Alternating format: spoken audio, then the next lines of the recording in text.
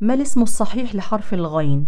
ومن أين يخرج؟ وما صفاته؟ وكيف يأتي في القرآن؟ هل يأتي متكررا أو مشددا أو مدغما وهل ورد في الحروف المقطعة؟ وما أصعب مواضع حرف الغين في القرآن؟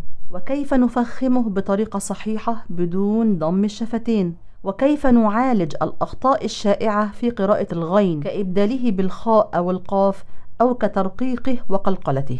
جميع هذه الأسئلة نجيب عنها في هذا المقطع إن شاء الله فبسم الله نبدأ.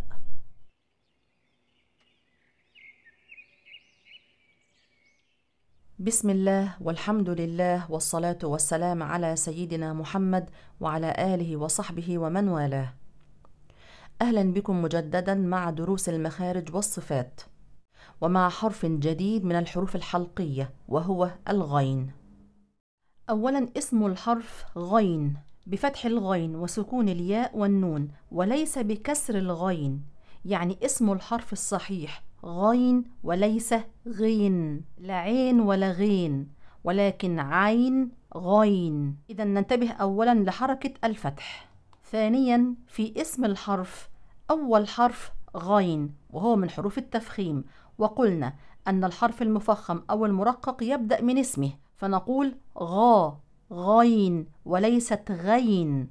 نفخم ولا نرقق. إذا الأمر الثاني ننتبه للتفخيم. إذا اسم الحرف غين بفتح الغين مع تفخيمها. وليس غين ولا غين. لا بالكسر ولا بالترقيق. أما صورة الحرف يعني شكل ورسم في الخط فهو يكتب هكذا في أول الكلمة. وبهذا الشكل في وسط الكلمة أو هكذا في الوسط كذلك وفي آخر الكلمة يرسم هكذا أو هكذا. نفس شكل العين ولكن بنقطة وكما ذكرنا سابقا هذه النقط وضعت للتفرقة بين الحروف المتشابهة رسما يعني كي نفرق بين العين والغين. طبعا اختلاف رسم الحرف بداية الكلمة عن الوسط عن الآخر لا يغير أبدا في نطق الحرف.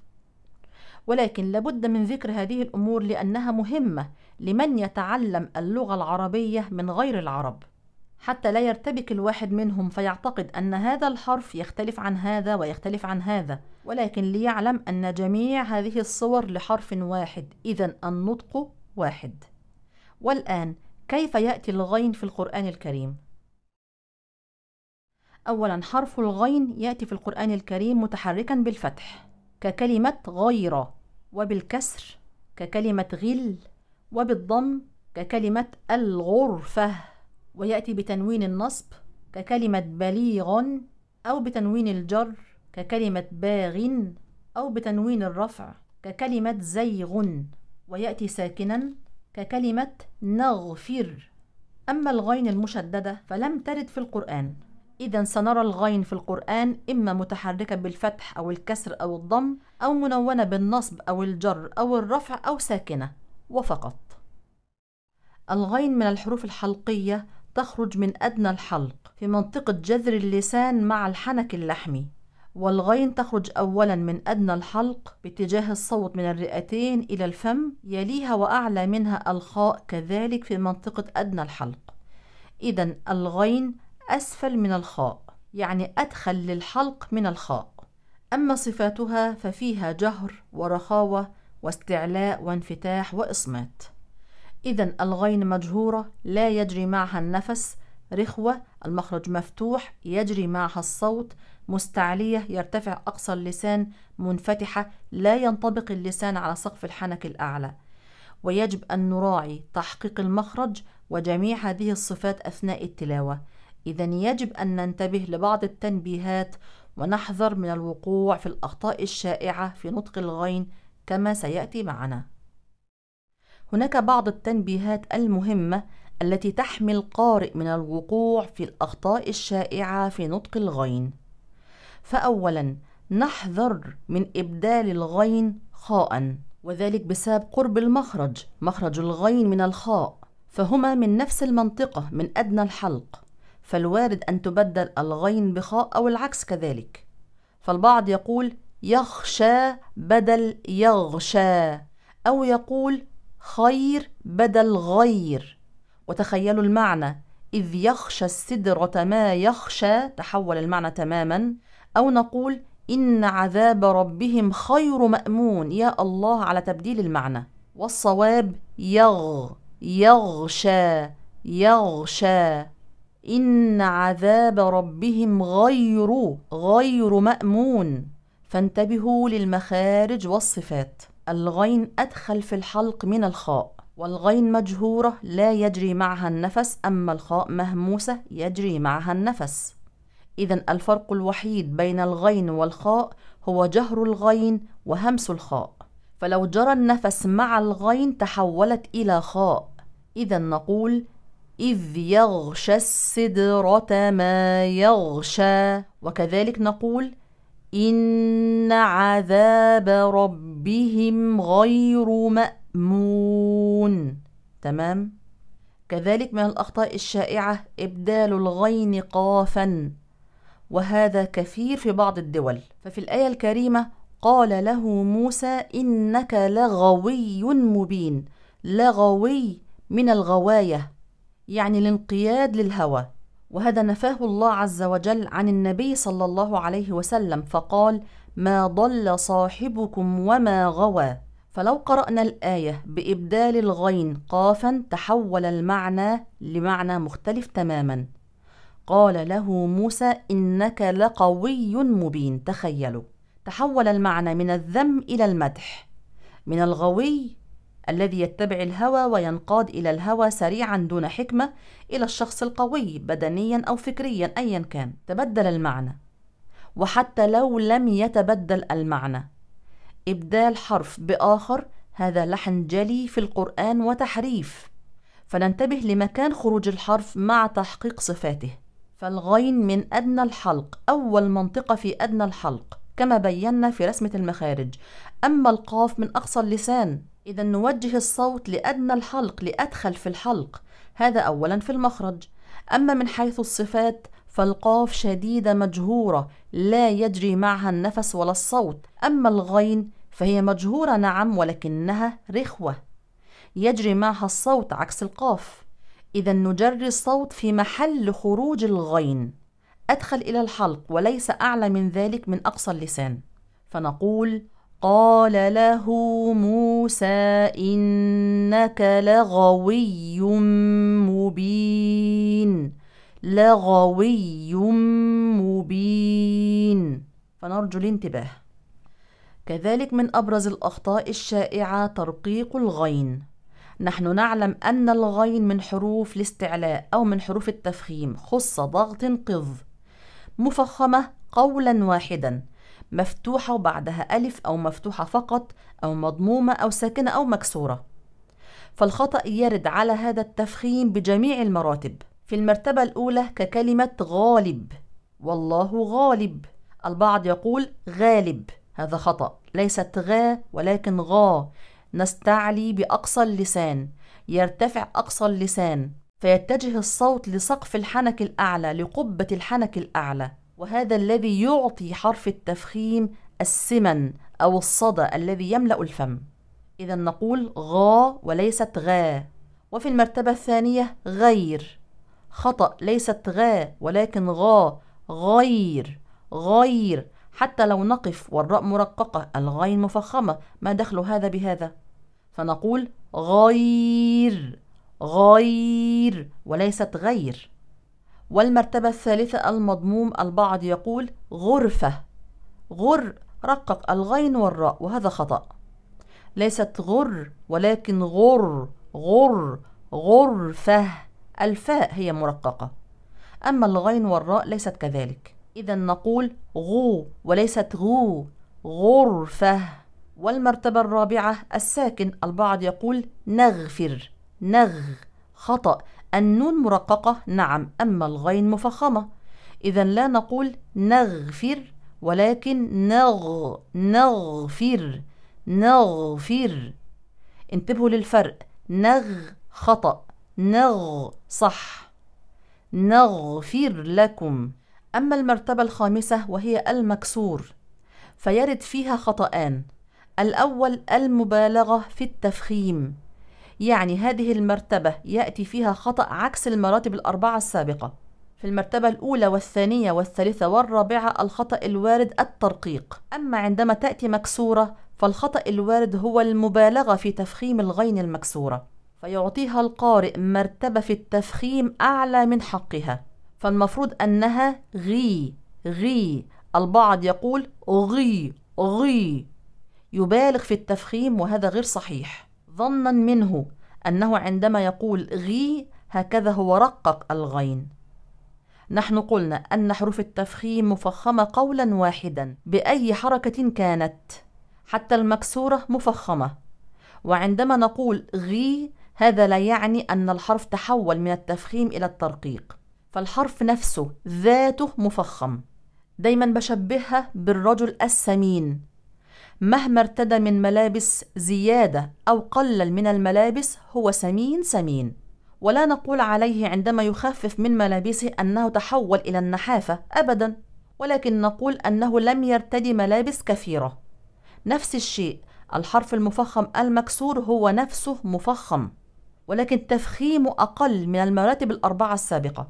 إذا لا تخافوا ولا تعتقدوا أن هذا ترقيق. بل هو تفخيم متناسب مع حركة الحرف ومرتبة الحرف. وهكذا وردت إلينا بالسند وبالرواية المتواترة عن النبي صلى الله عليه وسلم. إذا لا يصح أن نقول ولا تجعل في قلوبنا غلا اسمعوا الغين غلا خطأ. ليست غي ولكن غي غي غلا غلا. ولا تجعل في قلوبنا غلا للذين آمنوا. تمام. الخطأ الثاني الذي يرد في هذه المرتبة الخامسة وهي المكسور البعض يطلق عليها الترقيق. كلمة ترقيق يا سادة لا تقولوها على أي حرف من حروف التفخيم السبعة. لا نقول على المفخم المكسور أنه مرقق. هذه من الأخطاء الشائعة. هو مفخم مفخم مفخم. إذا الحرف المفخم مفخم قولا واحدا بأي حركة كان. كذلك من الأخطاء الشائعة قلقلة الغين الساكنة. حروف القلقلة قطب جد. تقلقل إن توفر الشرط وهو السكون. فهل الغين الساكنة تقلقل وهل هي من ضمن حروف قطب جد؟ أبدا أبدا أبدا. إذا لا نقول نغفر ولا نقول يغشى ولا نقول وأغرقنا. طبعا هنا الأنس أن القاف ساكنة مقلقلة فالوارد أن الغين تقلقل معها وهذا خطأ. وأغرقنا وأغ أغ. كيف نتخلص من قلقلة الغين؟ بجريان الصوت نفس المعالجة لجميع الحروف الرخوة. نعطيها الصفة اللازمة من جريان الصوت بالنسبة المطلوبة لها. إذا نجري الصوت مع الغين كي نتخلص من القلقلة ونبقى في مخرج الحرف كما دائما أقول. نمكث مع الحرف في مخرجه مدة زمنية أطول مع جريان الصوت. وأغ وأغ وأغرقنا نغفر يغشى. تمام؟ كذلك من الأخطاء ضم الشفتين مع الغين. هذا الخطأ يرد مع جميع حروف التفخيم.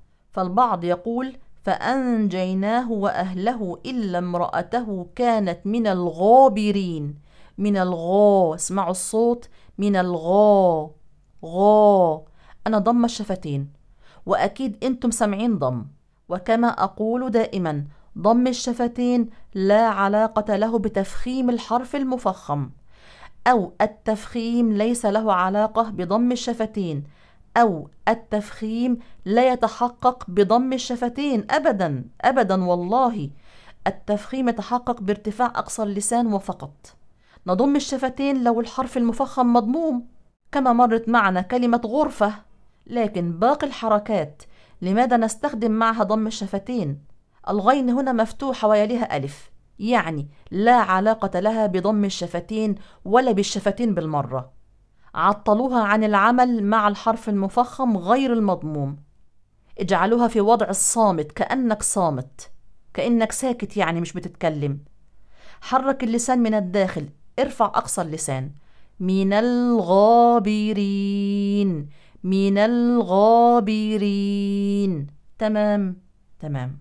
وآخر تنبيه يجب أن ننتبه ونبين. الغين إن تكررت. وهذا لم يأتي إلا في موضع وحيد في القرآن الكريم بأكمله.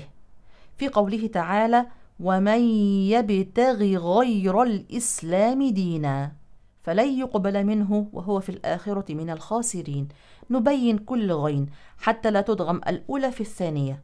فلا نقول ومن يبتغ غير الإسلام يبتغ غير طلعنا كمان غين مشددة وهي لم ترد أصلا. فننتبه ومن يبتغي غا يبتغي غير وطبعا هنا نراعي مرتبة التفخيم. يبتغي الغين مكسورة. طبعا لا ياء بعدها. يبتغي غين مكسورة من أقل مراتب التفخيم. ومن يبتغي غا غير غير. المرتبة الثانية. شوفوا الفرق في الصوت. غي غا. غي غا. ومن يبتغ غير الإسلام دينا فلن يقبل منه. تمام؟ وختاما ننبه على بعض الكلمات الصعبة تقريبا أو نقول الكلمات الدقيقة التي تحتاج من القارئ عناية ودقة أثناء التلاوة وهي في الغين المجاورة للضاد والقاف. كهذه الكلمات ضغثا فسينغضون غضبان واغضض يغضون. لا تزغ قلوبنا يزيغ قلوب. فيجب أن نعتني بالغين في مثل هذه المواضع. لا نركز مع الضاد فقط ونهمل الغين. الجميع ينتبه للضاد ويركز على الضاد ويهتم ويعتني بالضاد. لأنه حرف مستعلي ومطبق فيه رخاوة فيه استطالة ويهمل الغين.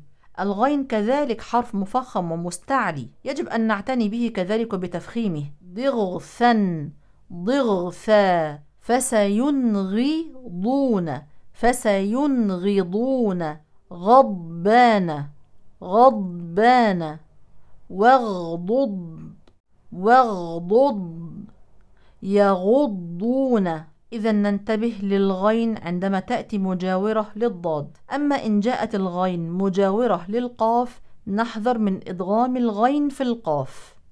لا نقول ربنا لا تزغ قلوبنا ولكن لا تزغ لا تزغ. نبين أولا رخاوة الغين ثم نبدأ مع القاف. ربنا لا تزغ قلوبنا. وفي الموضع الثاني من بعد ما كاد يزيغ قلوب يزيغ قلوب وليست يزيغ قلوب كأنها قاف واحدة مضمومة. انتبهوا. يزيغ قو يزيغ قلوب. هذه كانت تنبيهات عامة وأبرز الأخطاء الشائعة في نطق الغين مع كيفية التخلص من هذه الأخطاء. والآن مع تدريبات وأمثلة من القرآن الكريم. كما تعودنا سأقرأ المثال بطريقة غير صحيحة وعليكم أن تكتشفوا أين الخطأ وكيف يمكن التخلص منه. المثال الأول. إذ هما في القار إذ يقول لصاحبه لا تحزن إن الله معنا. أين الخطأ؟ تبديل الغين في كلمة الغار بالقاف. قرأتها في القار والقار يا سادة هو مادة سوداء يطلى بها الشارع يطلى بها الأسفلت وتطلى بها السفن. والصواب في الغار في الغار طيب سأقرأ الآية بطريقة صحيحة. إذ هما في الغار إذ يقول لصاحبه. هل قرأتها بطريقة صحيحة؟ استمعوا إليها مرة أخرى. إذ هما في الغار. أين الخطأ؟ ضم الشفتين مع الغين. ولا يصح أن نضم الشفتين مع الغين لأنها ليست مضمومة. هي مفتوحة ويليها ألف. إذا القراءة الصحيحة إذ هما في الغار إذ يقول لصاحبه لا تحزن إن الله معنا. طيب مثال آخر. أو إطعام في يوم ذي مسغبة. أين الخطأ؟ ترقيق الغين. قرأتها مسغبة. ليست غا ولكن غا نرفع أقصى اللسان حتى ينحصر الصوت ويتجه لسقف الحنك الأعلى. أو إطعام في يوم ذي مسغبة. طيب مثال آخر. وغيض الماء وقضي الأمر واستوت على الجودي. أين الخطأ؟ رفعت مرتبة تفخيم الغين المكسورة لمرتبة أعلى. المفروض أنها غي غي وغيضا وغيضا وليست وغي وغيض الماء وقضي الأمر واستوت على الجودي مثال آخر. فمن اضطر خير باغ ولا عاد فلا إثم عليه. أين الخطأ؟ إبدال الغين في كلمة غيره بالخاء. همست الغين فتحولت إلى خاء. والصواب انحباس النفس مع الغين لأنها مجهورة غير مهموسة. إذا نقول غا غيرا فمن اضطر غير باغ ولا عاد فلا إثم عليه. طيب مثال آخر. وأنه هو أقنى وأقنى. أين الخطأ؟ تبديل الغين في كلمة أغنى بقاف. فأصبحت الكلمة أقنى وأقنى وكأن الكلمة متكررة بلا داعي وهذا يخل ببلاغة وإعجاز نظم القرآن. إذا لا نقول أقنى ولكن أغ أغنى. وأنه هو أغنى وأقنى. طيب مثال آخر. وأنه هو أغنى وأقنى. أين الخطأ؟ قلقلة الغين. قرأتها أغ أغنى وهذا خطأ. وهنا ننتبه لهذه الملاحظة.